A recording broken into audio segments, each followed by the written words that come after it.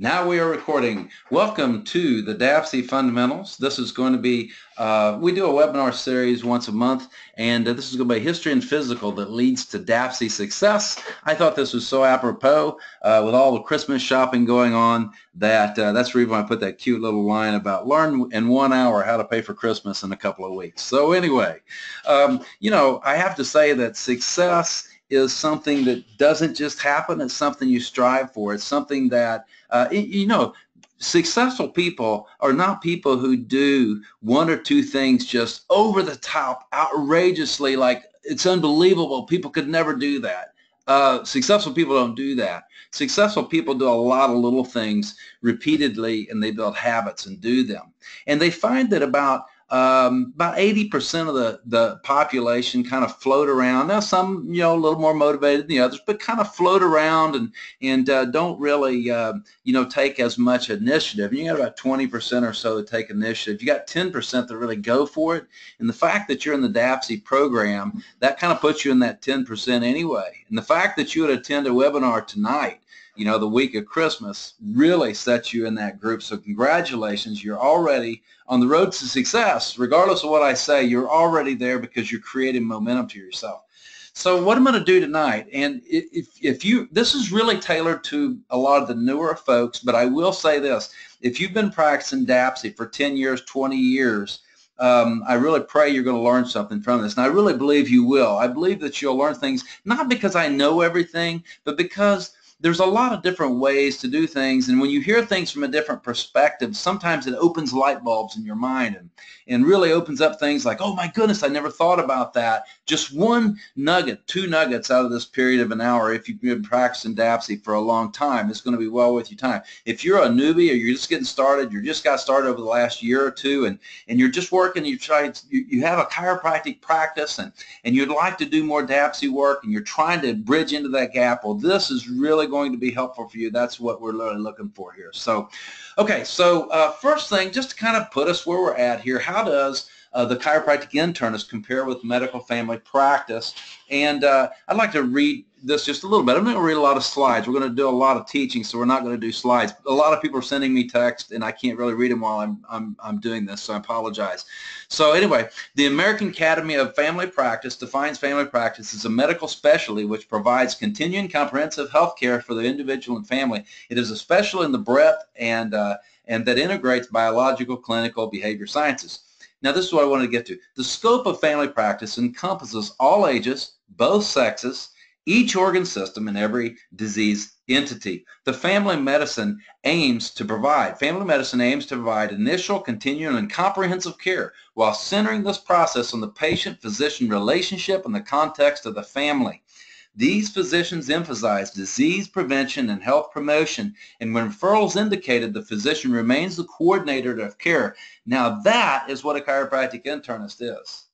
We are emphasizing disease prevention and health promotion. And I'm not downing the family medical doctor down the street, but I'm going to tell you he or she's not doing this to this degree. On average, there are going to be some exceptional ones out there, but they're not doing this on average. On average, people come in with blood pressure, they give them blood pressure pills. Somebody comes in with a, you know, earache, they get antibiotics. Somebody comes in with a, you know, whatever you come in with, they're going to get something. You get on down the road, you get a 10 minute, 15 minute consultation and uh, in, out, and that kind of process process. Now, here again, I'm not down in medicine. Um, you know, we we have a lot of usefulness in, in, in referrals, and, and we're not here to, you know, sit in our little corner and we hate everybody and we're the best and everybody else sucks. That's not really where we live. Um, but I just want to I want to bring this to this understanding that as a chiropractic internist, this is who we are. And this is where we want to be, and this is where we want to project ourselves to our patients, and this is where we want to be in the future. This is where we want to be the primary healthcare physicians for patients, family. Uh, and family practice doesn't mean that we see dad for full price and mom for half price and the kids are free. That's not family practice. Family practice is having responsibility to take care of, taking care of people from cradle to grave with all the issues of life and helping them walk through it with the chiropractic philosophy. That the body heals from above down inside out, that the body has this amazing capacity to heal itself. And we as chiropractic internists have this awesome responsibility and abilities that we learn that we can diagnose and we can monitor, we can watch this and we can we can make sure that this body's doing what it needs to do and, and help it along the way to, to remove interference and do all the things we need to do so that the body has the ability to uh, heal itself and do all the things for potential and health and life. So when we talk about chiropractic internists, I'm very passionate about it because I am a chiropractor and I am an internist. I don't say chiropractic internist and I don't say chiropractic internist. I say chiropractic internist because I'm proud of the philosophy of chiropractic. That's what brought us where we are. We believe in above, down, inside out. We believe in this inherent capacity of the body to heal. But as interns, we also believe that we can be primary and that we are primary care physicians for our patients. And so we want to be able to provide that care for them, whether they have a cold or whether they have, you know, if we're, we're supporting their care for cancer or whatever the case may be, we want to be, we want to be the hub of their care in that position. So I just wanted to go in there. Now to do this, one of the things that we have really have to get across is that, you know, I like this leadership proverbs that we really need to develop our ability to be a leader. Now, if you, you might say to yourself, you know, I'm really not a good leader. Um, I'm not somebody who's, you know, this big, um, gregarious person with this big personality that's bigger in life. And I don't just walk in the room and everybody has to look at me. I'm not that kind of person. Well, congratulations. Nobody really, you know, wants to have a personal ongoing physician relationships necessarily with that. Maybe they do, but, but that's not what the requisite is. Really, leadership comes down to this. It comes down to one word, and it's influence. Our ability to influence people is our ability to lead people. So I think that gives us a lot of, takes a lot of stress off. And I like this quote, he who thinketh he leadeth and hath no one following is merely out for a walk. And by the way, as a chiropractic internist, we do not want to be out for a walk. We're, we're, this is serious business and we're here taking care of business. So we want to make sure we are doing what we need to do to uh, make things in the right way for people. Now, the key to successful leadership today is influence, not authority. Now, uh, let me back up just a little bit. I want to key off that just a little bit. Today I'm going to talk about, this evening I'm going to talk about the, the history and the physical exam. And I will tell you, the history and the physical exam is the very first most important thing that begins that relationship with you and the patient that helps you have that necessary influence that you can be the leader in their in their lives and then also in their family's life. And if, you, if we do it properly, their friends' lives as well.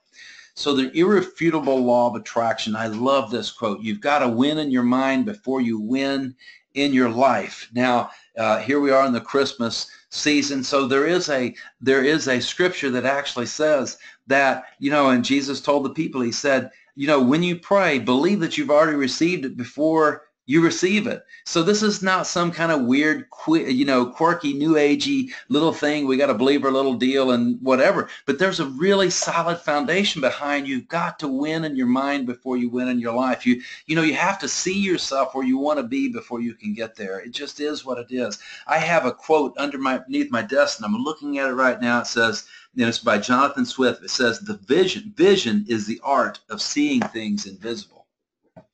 I love this. Muhammad Ali, I am the greatest. He said, I said that even before I knew I was. And so there's really a lot to that. And I love this right here. If you've never had a chance to watch this little stick from Matt Foley on Saturday Night Live. It's one of the funniest things ever. I don't know. Maybe I've got a warped sense of humor, but I thought it was hysterical. Uh, I want you guys to Google it up. Be one of your assignments give you a good life over the laugh over the Christmas holidays. He's a motivational speaker, and uh, but he's he's kind of downtrodden. he lives in a van down by the river, and that's what he keeps on telling these folks. And he tells these kids that he wants the kids wants to be a writer, and he tells him, he said, you know, you might think you're going to do great things in your life, but I'm here to tell you, you're going to just you know wind up to be jack squat. That's what he tells him. And he said, and you're probably going to wind up eating government cheese living in a van down by the river. Now, the point I want to make about that was not just telling that story, although I do love the story, is that if you ever notice, people have a story people have a story and it's usually you know it's usually bs actually but people have their own story they'll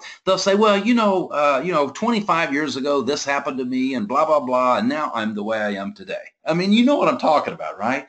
What I'm saying is, is as a chiropractic internist, if you have a story that's a negative story, if you have a story that's not leading you to success, then I'm going to invite you right now to examine that story and start telling a new story. So there you go. That's enough for the motivation. I, you know, I love this stuff because as a chiropractic internist, we really do have to influence people.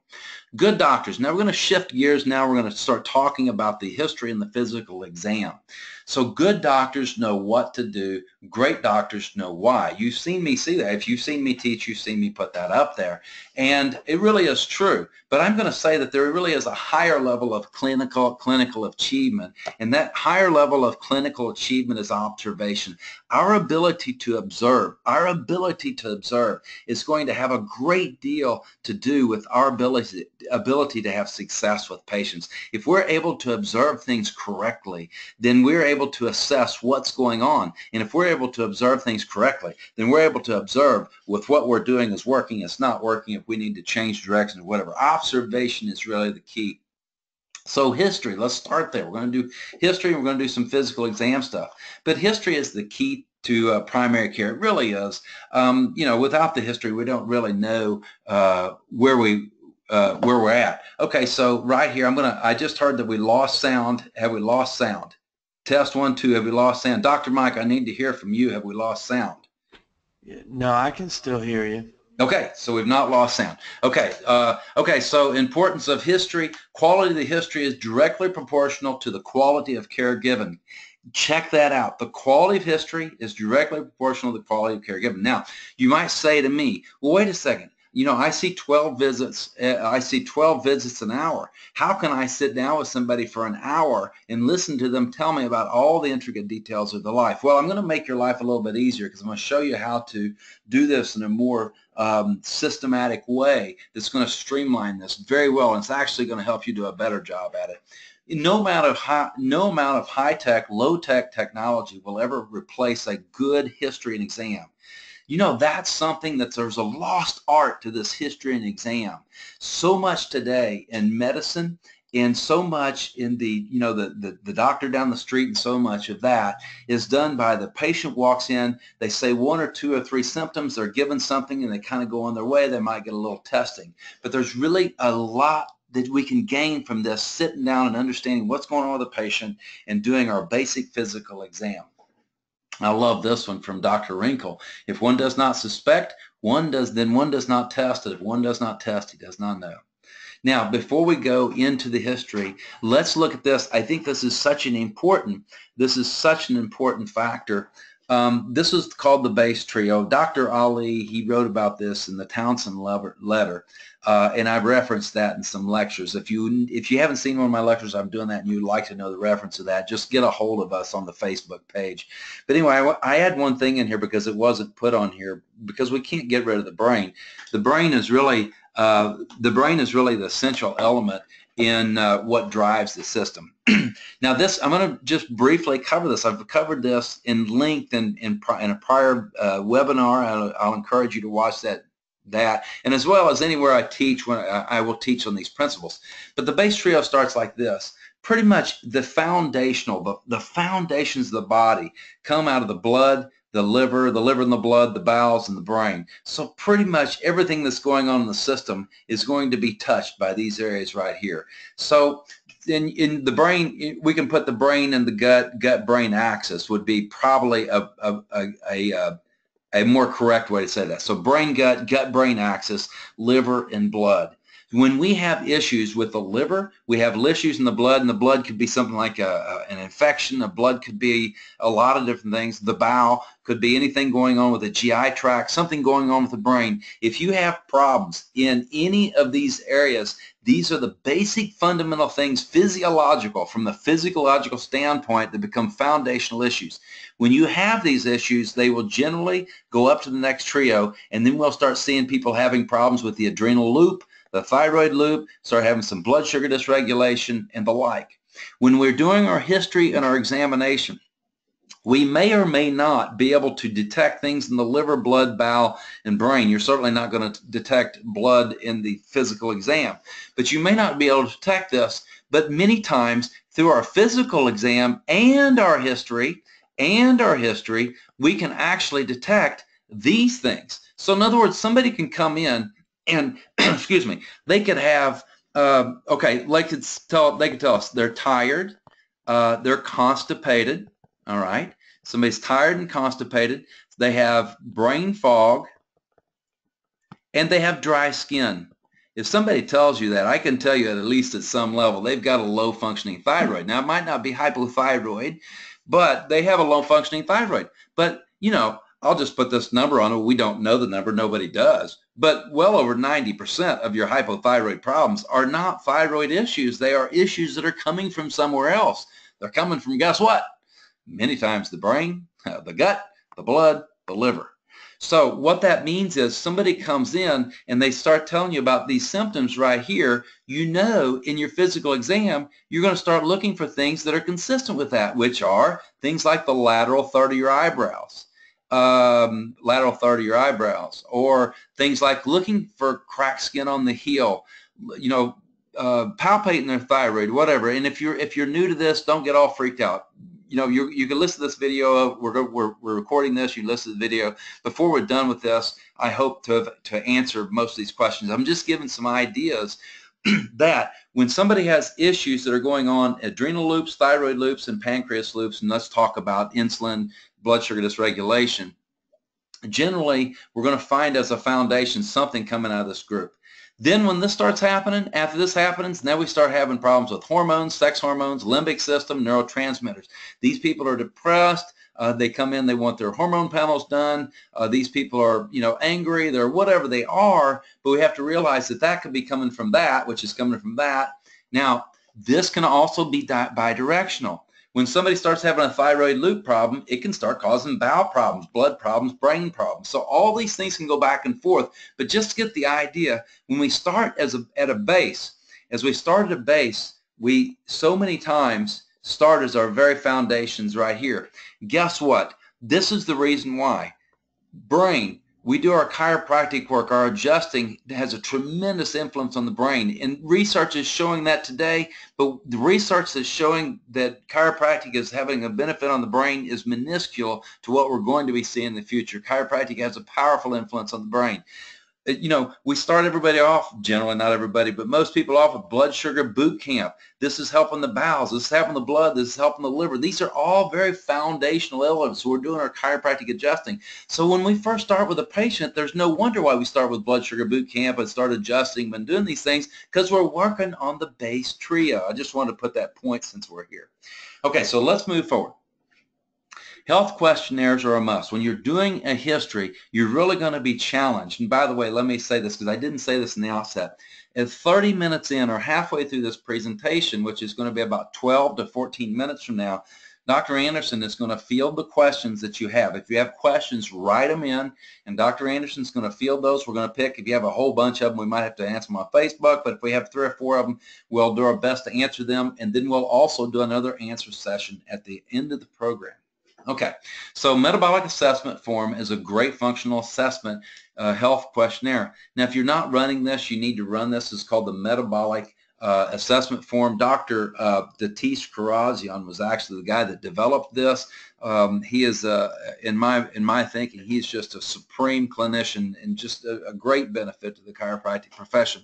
And uh, he actually was the one that wrote that book. Why do I still have symptoms in my? Why am I uh, uh, I have thyroid problems in my? Oh my goodness, I botched that up. It's the thyroid book. Why am I? Uh, why am I test normal? I still have problems or whatever it is. Look up Datis Kharrazian. You can you can get that book.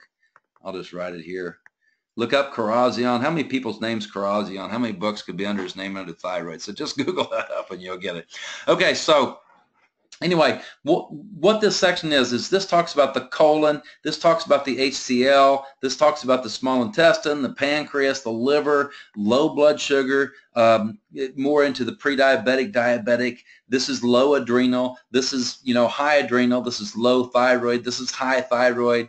So what happens, people fill this out. And if you're not doing this right now, you must tomorrow morning before you go. If you're not doing this, go to the, go to the office an hour early uh, print this form off. We have it on the DABCI website or just look on the web. You can find it on the web. Get this, start printing them out, and every patient that comes in from day from this day forward gets this, and any of your existing patients have them fill it out. So what they're going to do is they're going to go 0 to 3 on here. A 3 means it's really bad. A 0 means they don't experience it. So when somebody comes in, when somebody comes into your clinic and they've got three, three, three, three here in this low blood sugar uh, section, I can assure you they have low blood sugar problems. It doesn't matter, you know, really, the, uh, you, of course you're going to see on labs uh, low blood sugar. One of the things we look at is the LDL or the LDH being lower than 140 is a nice sign of a hypo, of a, uh, what we call a functional reactive hypoglycemia. So, so that would be a good lab. And there's other labs that we've discussed through the program. But basically, bottom line is if you see somebody filling a lot of this out, guess what you know you're going to do in your exam?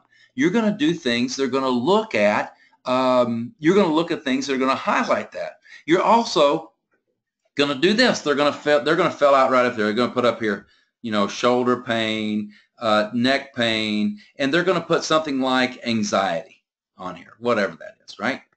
All right, so you already know before you get started with this patient, you've not even seen this patient, and I'm just giving an example. They've got threes, four threes, two threes, whatever they have through here, enough to let you know that they've got a problem in this area. You already know that that anxiety has to be hooked with low blood sugar. You already know that. Now, you're not going to walk in the door and say, hey, guess what? Your anxiety is coming from low blood sugar. You don't do that. So, but what you do is you're going to walk this person through the process. When you do the history, you're going to dig into this area. And when you do the physical, you're going to dig into this area. And then when it comes time to get labs like you need to do, like the chiropractic internist does, then you're going to explain to this patient that all these things are leading to this, and it probably has something to do with these as well. Okay, so I just made one example. You could do the same kind of riff off the thyroid, same kind of riff off the hypo, you know, the hyperadrenals or adrenals or whichever it is. So, you know, these questions help the doctors understand about bowel functions, blood sugar, this metabolic assessment.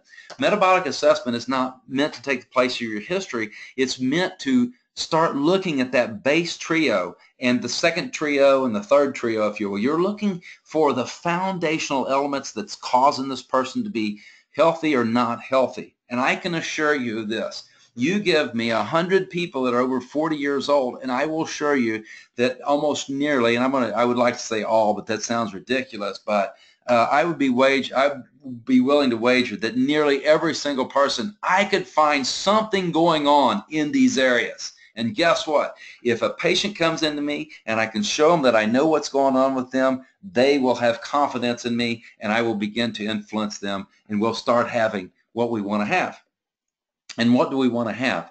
We, you know, our job is not just to dupe people into more care and this and that. Our job is to open the door because they might not have realized that they're taking high blood pressure medication and they might not have realized that there's a person out there, you, that knows how to go through the process and figure out why their blood pressure is high. There's also a person out there that can explain to them that fixing their blood pressure with blood pressure pills didn't solve the problem. It solved a problem, but it didn't solve the problem. You've got other things going on in there that that cause your high blood pressure, and it could be leading you down the path of a heart attack, stroke, cancer, or, or God knows who what what else. So so it becomes very important that we are able to do this. Now some people come in and they're all natural. They just want a chiropractic care. That's all they want. And then they have the internist come in, uh, you know, the internist side, and they're like, wow, this is really awesome. It takes them to a new level of confidence of saying, this is a person that can take care of me and my family. So anyway, these are other things patient diagnostic questionnaire.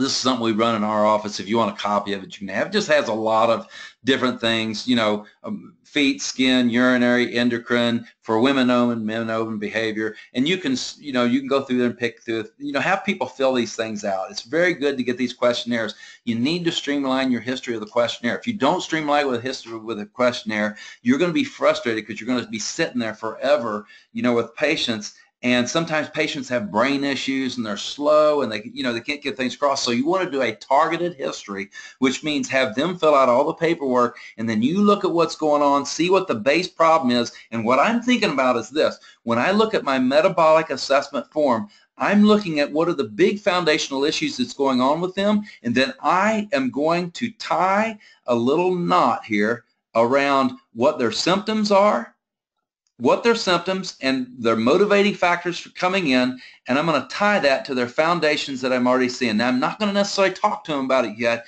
but if they have symptoms, and I'll just name things. So, you know, chiropractic, they, people come in low back pain, they come in with uh, neck pain, and let's say they have fatigue. Okay, that's kind of a usual complaint, right? Well, somebody comes in and I see they have low adrenals, okay, and I see that, uh, let's say they have heartburn, okay, uh, let's say they're on Prilosec or whatever the case may be. And I also see they have low HCl, means they, they burp as soon as they eat something. That's in the history. And I see that from the history. I already know that I'm going to start structuring, and it's not an argument with a patient, but let me just say it this way. You are framing an argument with the patient, and, and I don't mean to call it an argument, I just don't have a better word for it. But the patient comes in with one set of beliefs that's over here, and you have a set of beliefs that's over here. And those beliefs look like this this patient looks like they're going to need very little care and they think it's going to cost very little money.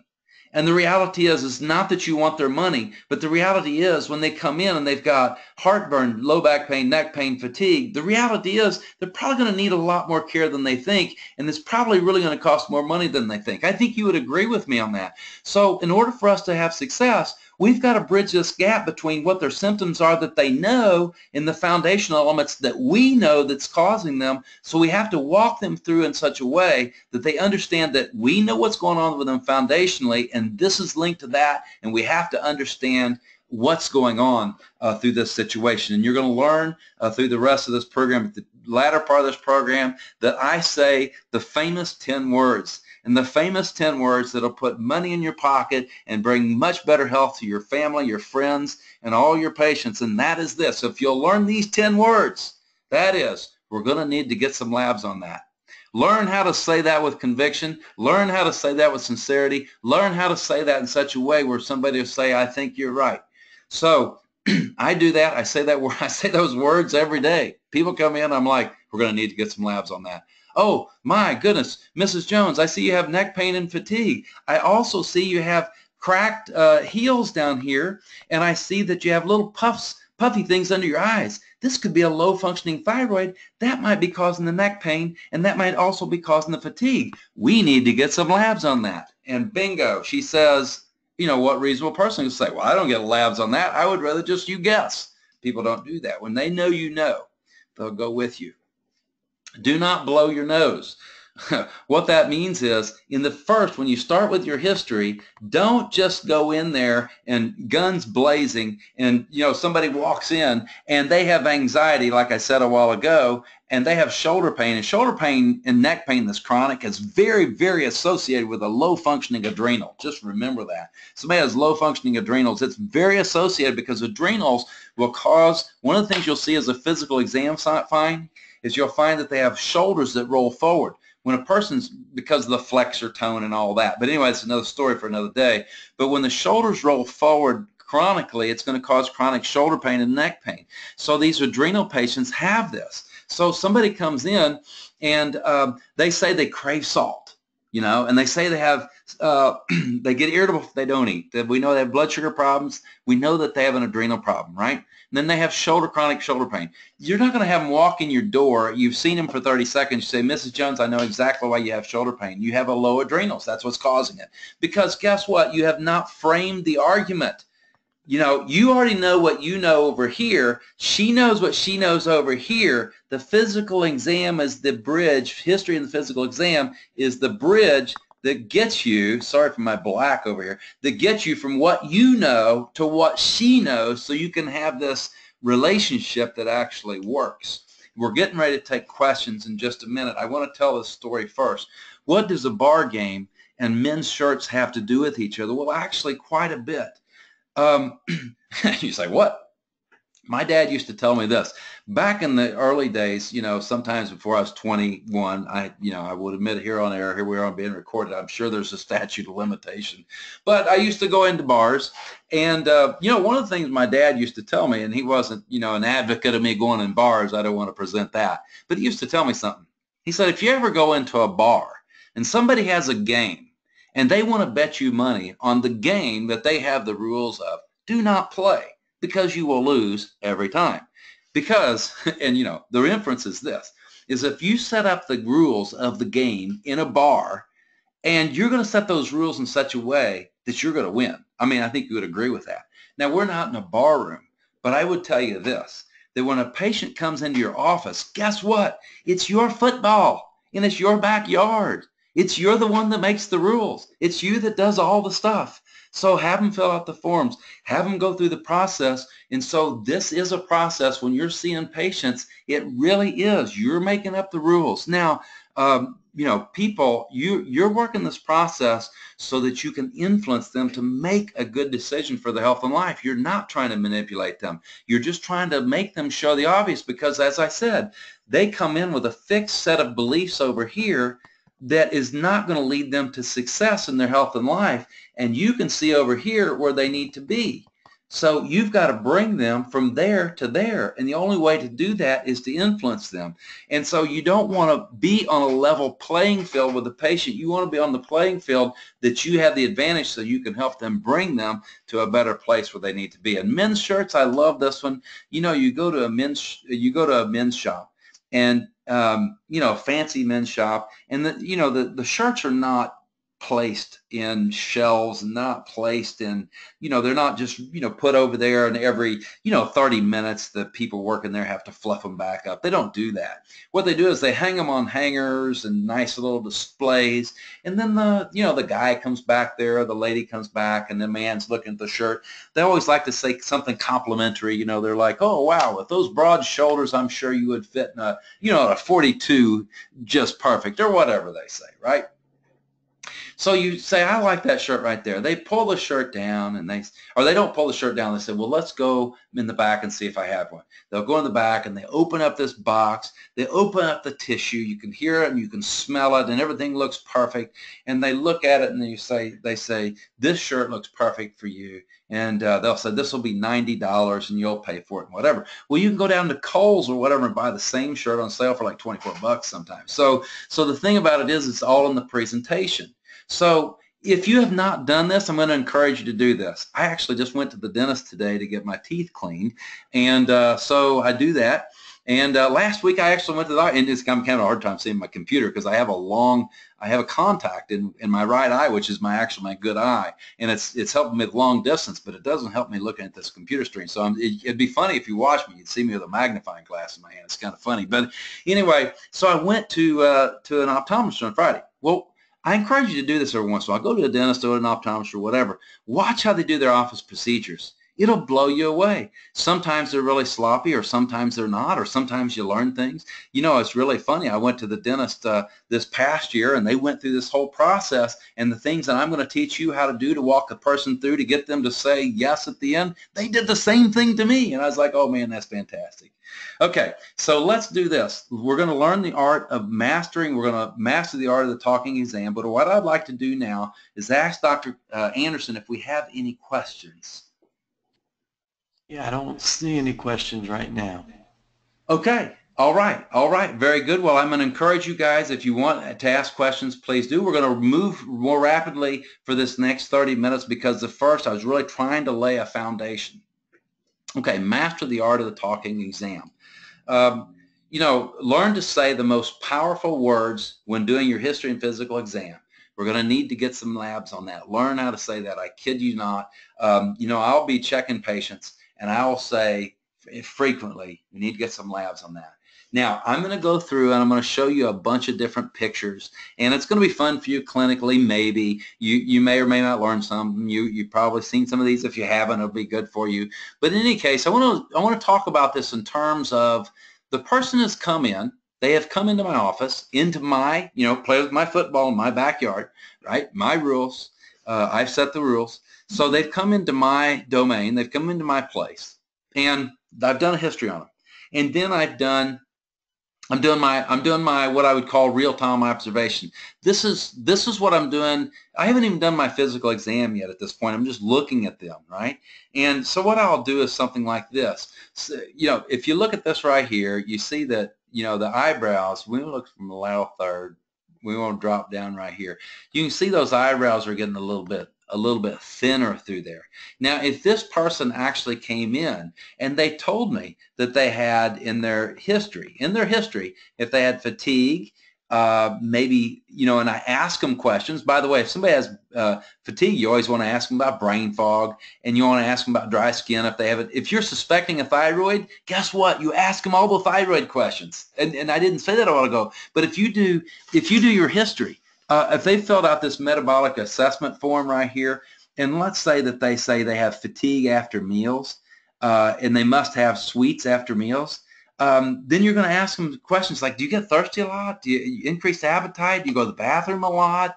Um, you know, do you find that when you eat sweets that it doesn't relieve fatigue? Yes, yes, yes. I notice that. Do you have a hard time getting up in the morning? Like, do you, do you have to have coffee to get going? Yes, yes. What am I doing? These are all pre-diabetic type signs or diabetic signs. And so I, I picked one or two things that they pulled out and I asked them a lot more questions about that particular thing. Why? Because I'm trying to tighten the noose. Sorry about that. That was a bad joke. Didn't mean to be a joke, but I'm trying to tighten. I'm trying to bring them closer to what I'm seeing here. I'm trying to say they've come into me with fatigue and they've come into me with neck pain, let's say, okay? Fatigue and neck pain. And by the way, 25 years ago, they had neck pain and they had this chiropractor adjust them one time and it went away and they want that same adjustment because they'd like that 25 year plan on that neck pain. That's what they'd like. They don't realize now they're 53 and now their waist is bigger, you know, their girth is bigger than their waist. They don't realize that now they get tired after they eat. They don't realize that they need coffee to get going because they just kind of live with that. But when you point it in their face and you say, Mr. Jones here, or Mrs. Jones, or Mrs. Jones, here's what's going on, is you have fatigue, and you were telling me when we talked a while ago that you have brain fog, and you say that uh, eating doesn't really fatigue. You have to have coffee to wake you up and get going in the morning. It's hard to go, and you get tired in the afternoon. These are all signs of blood sugar problems. And you know what? When people have blood sugar problems, a lot of times that's what causes fatigue, and it can also cause back pain. We really need to get some labs on that. That's how you do that. And then you're going to look further into physical exam things or whatever you find. I'm sorry, I wrote all of this lady's, all over this lady's fa face here. Oops, sorry. Let me get this again. Okay, so bottom line, what I'm trying to say is when you when you do the observation, you already know what you know from the history. And when you've done your history, you've tightened that up as much as possible so that when you go to do the observations, you can tell a story. Okay? This is a crease in the ear. We see this right here. This is a, an indication of a drop in circulation. The soft tissue support right here, the collagen that's in this area right here is very susceptible to drops in circulation. And when somebody has drops in circulation, you'll see that diagonal crease in the ear. So what would I do? Somebody comes in and they tell me they come in, I'm going to pick on neck pain again. They come in with neck pain because they know I'm a chiropractor and they heard I do good with neck pain. So they come with neck pain. I do a history, and because they did the metabolic assessment form, I actually also found, in the patient diagnostic questionnaire, I also found out that they have shortness of breath. And I also noticed, I also found out they get a little bit of pain in their legs when they walk too far. And then I start the physical exam and I look at that and I say, Mr. Jones, you have a crease in your ear. You remember you told me about the neck pain? Yeah, yeah, I did. You also told me about shortness of breath. You remember that? Yeah. And we talked about the fact you get pain in your legs. Well, you know this right here, and I'll take a picture of my iPhone and I'll show it to him. You know what that means? That means you have low circulation. I think there might be some cardiovascular issues. We need to get some labs on this. And after I've done my exam, I've said that about five times. And so when it's at the end of the examination, it is not a surprise to the person when I say, we need to get some labs. So, uh, and by the way, when you're doing the DABCI practice, we do our history, we do our physical, but just as important for us, for the physical, is a history and physicals are labs, which includes some level of blood and, and urinalysis. Because to really get a complete look, we can't know what these things we just don't know what these things are. You don't know what's under the hood unless you look. So uh, let me go back to this right here. So somebody comes in, you have a, a man that's losing hair on his legs. This can be drops in circulation. Uh, it can be low thyroid. So you just want to get those things down. You look at that, uh, see if anything matches in their history. And then you tie that together. You say, Mr. Mr. Jones, I noticed you said you had brain fog and I noticed you have lateral third of your eyebrows gone. I see the hair's gone in your legs. You might have a low thyroid. That might be causing this condition for which you came in. We're going to need to get some labs on that thick toenail. When you see one toenail like that, many times it's low circulation. Uh, it can also be from, uh, you know, a, a, polyneuropathy. It can be for some kind of autonomic dysfunction. It can be from fungal infection. It can be a lot of things. But if you have other indications of circulation, then just go ahead and go for it. Talk to them about circulation. This is a patient I had the other day. That's a circulation problem. You know, you have somebody with this many fungals, there's a good chance they might actually have a yeast infection. So person comes in, they come in with shoulder pain, but they also admitted to you that they have itchiness on their skin. Well, you're going to look at their skin, see if you see anything, but you're going to say, Mr. Jones, it looks like there's a possibility you might have an underlying yeast infection that's causing the itching on your skin, and that's why that's doing that. And he'll say, well, I didn't know that. You know, my mom had that. Everybody in my family had that. Well, you know what? We're going to need to get some labs on that. We need to understand what's going on with you. You know, here's a sock distribution guys will come in and say, well, I wear a boot, so I wear out the, the hair on my legs. Well, it's not really true. This is a actually a sign of a, of a polyneuropathy. Uh, the, the small nerves uh, start right about here and the large nerves uh, end right about there. So these small nerves are affected in your polyneuropathy. So you see that. You want to check that out. You might not be into that. Don't get worried about it. Don't get concerned about it. Um, Pallor, you know, somebody has this and she has a lot of makeup, but you can see, look at those lips right there and, and the skin right there. And this lady actually had a ferritin that they, the lab came back and said it was less than one.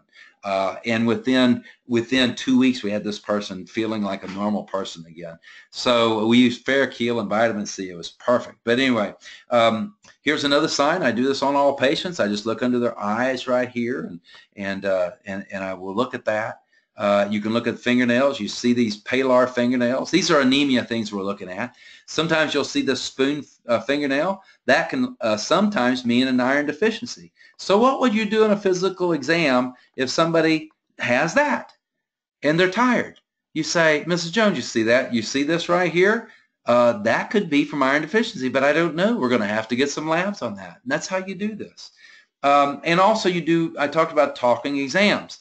This would be brittle fingernail. How would I handle talking exam with a brittle fingernail? I would look at that and say, Mrs. Jones, you have, you see your fingernails right here? Those fingernails are weak.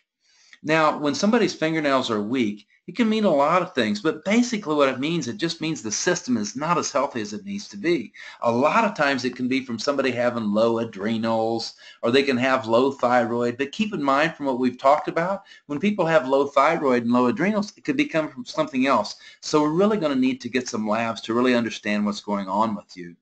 And then you just go on from there. That's the talking exam. Um, you know, uh, ridges in the fingernails. A lot of people say thyroid goes vertical and, you know, adrenals go horizontal. I find no evidence of that whatsoever. Uh, but if you have, you know, if you have vertical ones, it can be thyroid. It can just be somebody not healthy. It could be adrenals. It could be a lot of things.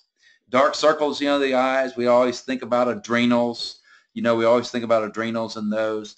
Uh, here's something you want to look at pupils. If you notice, a couple things we'll look at pupils. We'll shine a light in their eye from tangentially and we'll watch to see how that constricts and see if it'll hold that constriction. It should hold it for about three to five seconds. It's not able to hold it. It immediately, you know, instead of immediately dilates. Then this can be, not necessarily, but it can be an uh, indication of a, some adrenal uh, loop problems. You know, something else to notice on this patient, notice the size of that pupil versus the size of that pupil you know, you may not be into this. If you're not into this, you don't need to go this way. But this would be an indication that they have an autonomic nervous system imbalance more than likely, and this side of the brain is not uh, is not as healthy. And so the and so the sympathetic nervous system is is taking control on this side, and that's the reason why that's up like that. So you might not be up to that. You know, you know, you, you don't need to do that if you're not up to this. And let me back up right now and say something. This is really important. This is really important. Pick out uh, let's do it this way. okay. Um, let's say that we have our exam, okay? And let's say that we do our screen exam. And I'm going to suggest on your chiropractic patients that you develop what's called a screen exam. A screen exam is not the exam that you would do when you're trying to take the board for the DABCI. It's not the, the exam you would do if you're trying to uh, impress other DABCI doctors. It's not the exam you're doing if you really want the in-depth picture of what's going on with this picture, what the, what's going on with this patient. But a screen exam is something that you can do five to seven minutes you know, no more than five to seven minutes, maybe eight minutes, you know, 10 max. But you want a screen exam that you can do very quickly. And I will give you an example. One of the things that I will do is I'll look at the face, I'll look at the hands, I'll look at the feet, I'll look at the belly. I can do that very quickly. I can do it in 10 minutes. I'm going to give you a rundown of what I do, and then I'm going to encourage you not to do what I do, but to develop your own system based upon your own deal. And let me explain it this way if I can. I'm going to do my absolute best, and I apologize if I screw this up. Nobody knows what this is, right? What this is, is a these are shoebox from three different angles. This is the left side, this is the right side, and this is the top, okay? And what we see is we see four different holes. And let me just say, Inside that shoebox is the same thing, but you may look in this hole and I may look in that hole and somebody else may look in that hole and we're seeing the same thing. You might be the person that, man, you're all about the liver and the GI and everything comes back to liver and GI. You might be the person that you really bend a lot on infection. You might be the person that really bends a lot on thyroid adrenals. And I encourage you to actually be well-rounded and do all of these. but from a patient perspective and actually communicating with patients, you might find it easier to go through whichever hole you can go through as far as to explain what you're trying to say.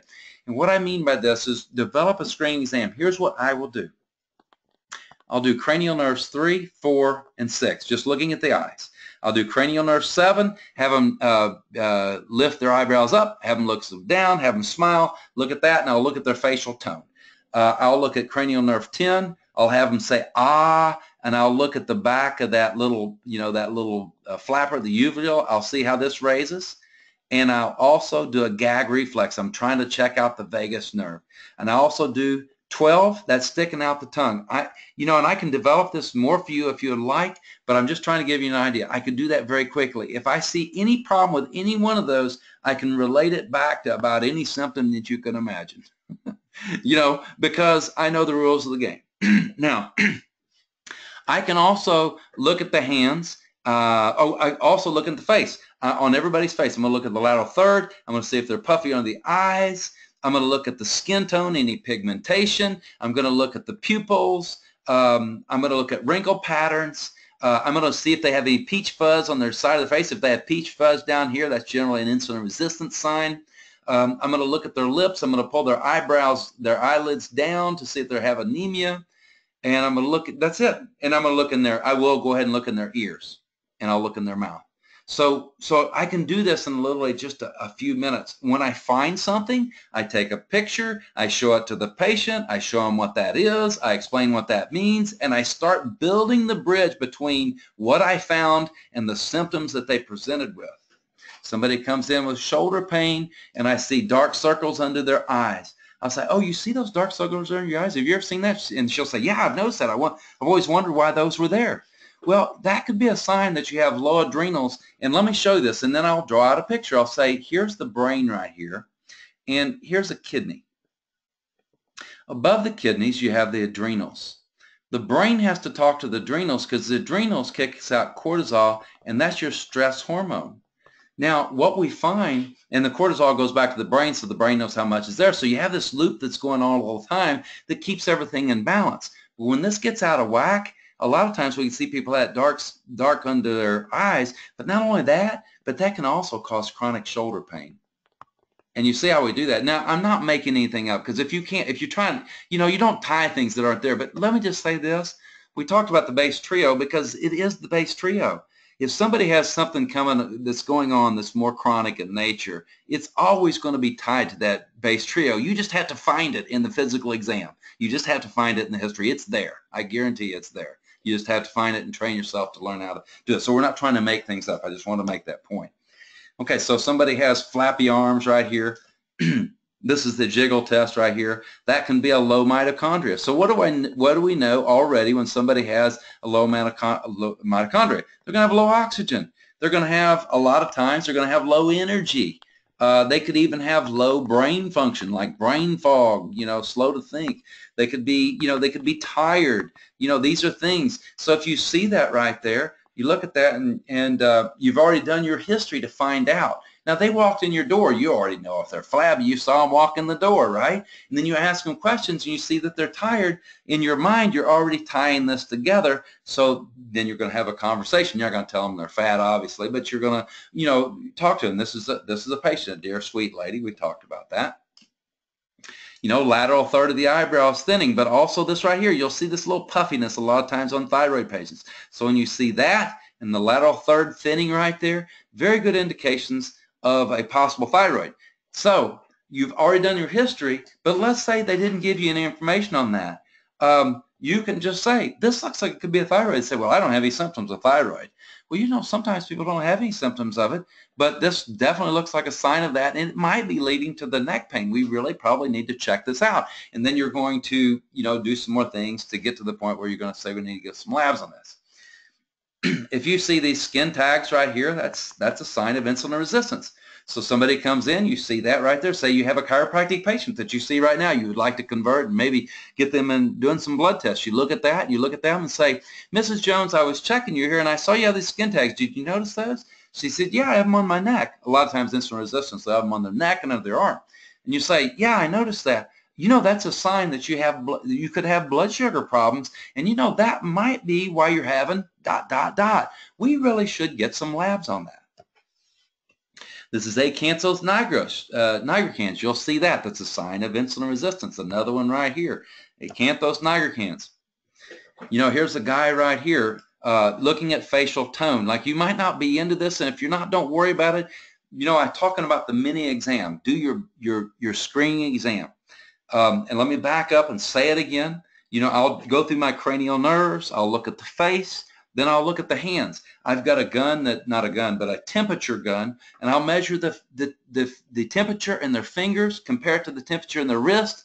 And if you've got eight, you know, you know, six, eight degrees difference between their fingers to, to the, uh, from their fingers to their wrist, we know that they have a huge load firing sympathetic nervous system. They've got a, you know, they've probably got, maybe possibly got some adrenal problems. They could have some blood sugar problems. There's a lot of things that that can indicate, but basically we know that their brain is doing this.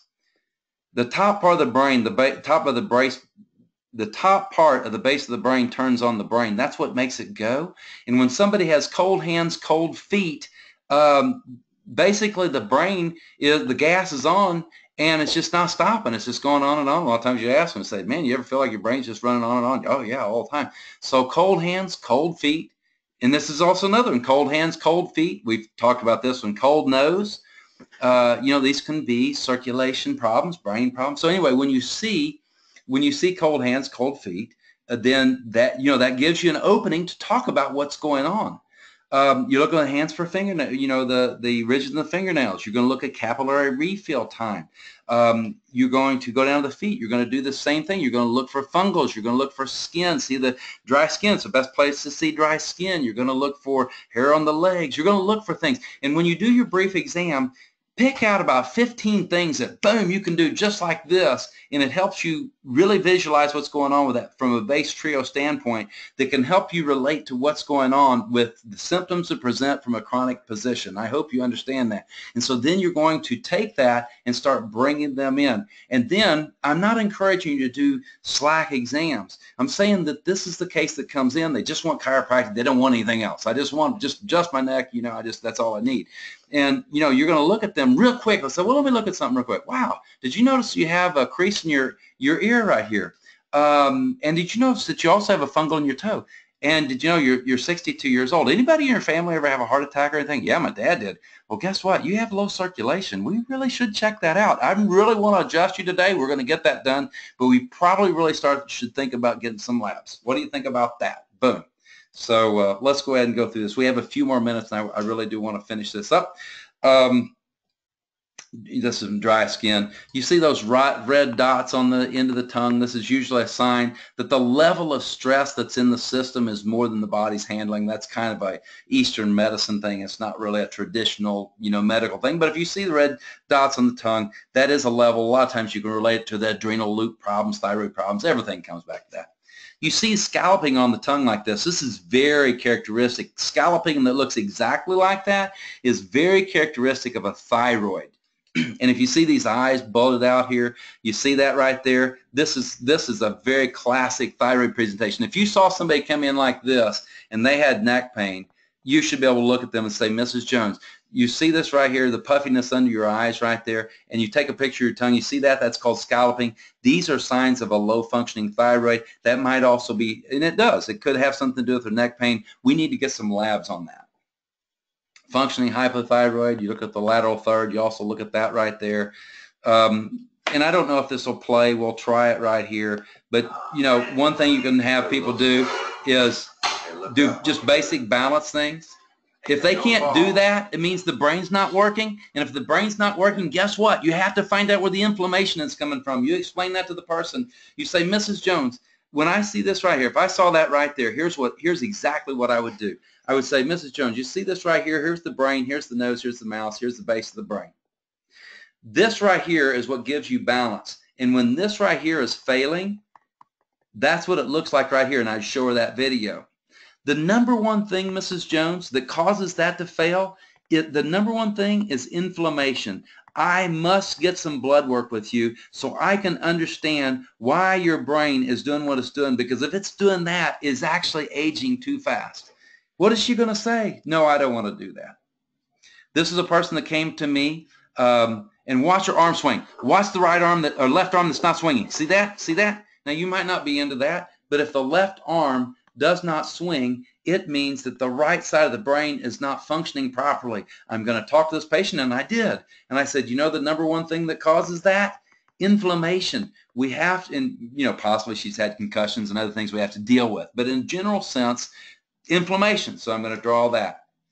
See pigmentation in the skin? We don't know what that is. In this case, it was actually melasma, but we don't know what that is, which means too much estrogen. But when I see something like that, it gives me an opening. Say, we need to get some labs. I didn't know this guy had hemochromatosis, but I knew he had that. And I knew he was tired. And I said, you know, Mr. Jones, you have this on your skin right here and you're tired right there. And I know that you've had low back pain, but this could be a sign of something else that I'm just not going to be able to see without looking at labs. We need to get some labs on that. We got the labs. He had actually the only person I've ever seen with primary hemochromatosis. I have just a few more minutes and I actually have a few cases I want to go through. I'm not sure it's going to work. We'll do our best. Here's tongue scalloping. Cherry angiomas, when you see that right there, it's a good indication that they're not converting. They're not converting hormones well. You'll see this a lot. And, you know, you'll see when guys have prostate problems, not all the time. You know, somebody would have a prostate problem that wouldn't necessarily have that. But if you have that, it means they're not converting. For ladies not converting estrogen properly, um, you know, you want to get some labs on that. I'm telling you, you know, get some labs on that and understand what's going on, um, you know, to, to work with that situation. Uh, these are all signs of thyroid right here. You know, the dry skin, the scallop tongue, and the, this is myxedema down here of the legs. Somebody comes in, they look like an apple right here. You already know. You look at this person right here, you already know. They're going to get tired after they eat. You know that. You already know that they're going to be sluggish in the morning. Uh, you already know these things, right? So you're going to direct your history on this and whatever symptom they have, you're going to tie it to that so you can bring them to you so you can get them under a lifetime um, awesome, um, you know, natural internist, chiropractic internist care. I really do have to mention one more thing before we go. And if you guys want to stick around, I will do cases for you invest in a whiteboard. It'll make you a lot of money and it'll help a lot of sick people get well. I have a big whiteboard by my office. I do my history. I do my physical exam. When I do my physicals, when I do, I talked about the, the brief physical. I will do a longer physical because now I don't have a lot of patients that come in just for, you know, they want their shoulder popped or whatever. I just don't have any of those patients at all. I have patients coming in to me for, you know, whatever conditions, you know, for the DABCI, for the chiropractic internist. And so I'm already doing full complete exam. So I still do the talking exam. At the end of the day, you know, my, my bailiwick, if you will, is the brain. I always like talking about the brain because I, I grew up a chiropractor and I love brain to body. I love the power that made the body heals the body. I love the brain communicates to the body and keeps it well. I love that whole, you know, idea. So, so I see the brain controlling the thyroid. I see the brain controlling the adrenals. I see the brain controlling sex hormones. I see the brain controlling the gut and the gut also has an influence on the brain. I see all these things. So when a patient comes in and I've done my exam and my nurse Mariah, if she's listening, she might be listening tonight, she would attest to this. 100% of the time, and I'm not going to say 100% because who know who could be 100%. Let's say 99% of the time, when I go to the whiteboard, here's how I do it. I will do my history. I will do my physical exam. I'll go to the whiteboard and I draw the brain and I draw whatever system's going on. I relate it to their symptoms. And then I leave a little space down here. I leave a little space down here and I do this. I say, Mrs. Jones, now that we've seen all these things, I need to see what your liver's doing. I need to see what your thyroid's doing. I need to understand what your immune system is doing, make sure you're not having an infection. And I just need to check I just need to check a lot of things out. I'm going to need to get some blood and we're going to get some urine from you. Okay? So then here's what's going to happen. This is a beautiful part. I promised you, I didn't promise you, but I told you. If you watched and stayed in for this hour, and right now we're one hour in, I was going to show you something that was going to pay for Christmas in two weeks, and here it comes. Right here it is.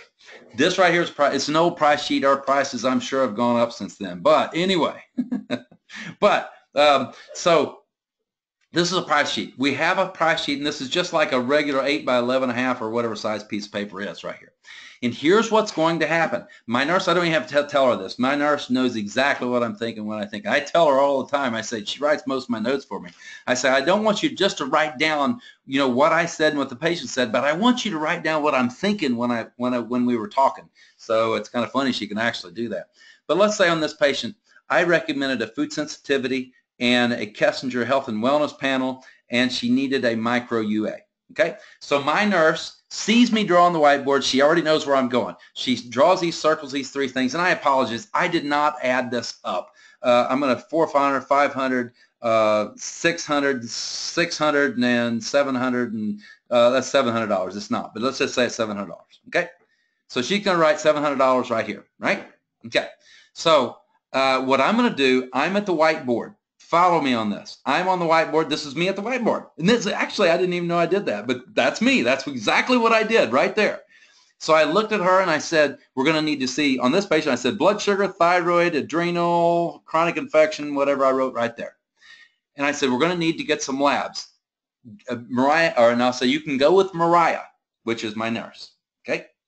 Then Mariah takes her back, does not say a word about the price. Catch this is so important she takes a clipboard and she hands the clipboard to the patient who, by the way, at this time, this patient better be, if she is not 100%, if she is not 100% that Dr. K is my favorite doctor ever, he saw things that nobody's ever seen before. If, if we haven't got her at that point, we don't have a patient yet. Um, we just don't. We don't have a patient. So she's going to go back and she's going to, with a clipboard, sit down with that patient and say, Mrs. Jones, Dr. Kessinger made the following recommendations. And she'll hand it to her and she'll circle the 700 and say, do you have any questions?